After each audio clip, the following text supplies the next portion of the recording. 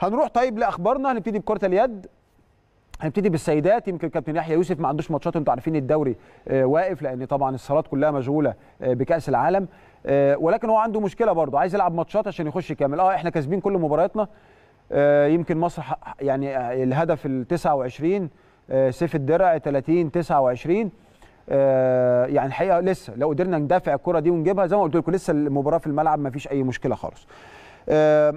فطبعا نرجع لأخبارنا. السيدات زي ما قلت لحضراتكم آه، يعني بيدوروا على ماتشات يلعبوها لأن طبعا صعب جدا تقعد الثلاث أسابيع دول من غير مباريات. إحنا كاسبين كل ماتشاتنا ماشيين بخطى ثابتة جدا جدا نحو استعادة اللقب. كل التوفيق طبعا لكرة اليد سيدات والكابتن يحيى يوسف واللاعبات